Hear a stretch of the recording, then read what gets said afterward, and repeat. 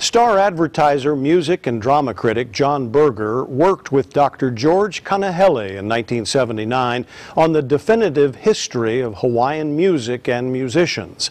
Since then, Berger has updated this volume to include recent artists influenced by the past. Kirk Matthews continues his look at Berger's efforts. Music plays an important part in our lives, especially here in the islands. So important, even Hawaiian royalty enjoyed reputations as songwriters. John Berger says he had help from some 200 people around the world in expanding the late Dr. George Kanahele's book. With this history in mind, I asked John what the future of Hawaiian music might be. Well, we know that Hawaiian music is going to continue to evolve.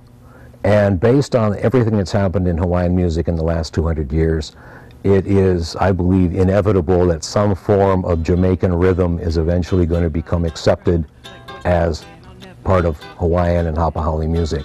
One of Hawaii's serious music historians believes this book is a milestone for Hawaiian music and history, and he's especially gratified.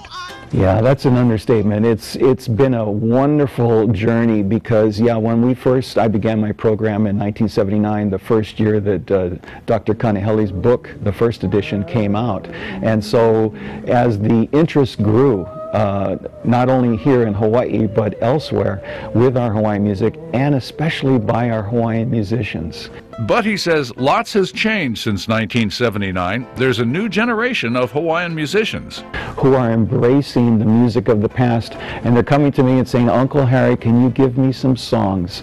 Uh, I helped Raiatea Helm with her most recent CD. Soria believes younger artists are creating their own music while reflecting on the past.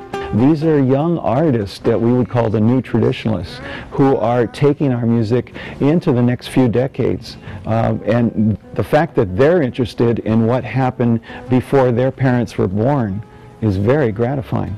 And if you are not a fan of contemporary Hawaiian music, hear what John Berger has to say. There was a time when people said that the brothers Cazimero weren't playing it right, that they were jazzing it up and they were playing it too fast. There was a time when people said Hawaii Calls wasn't doing it right. They were jazzing it up and doing it the wrong way. John will be signing books at the Keola Beamer concert tomorrow at Hawaii Theater. Kirk Matthews, KHON2 News, Hawaii's news leader.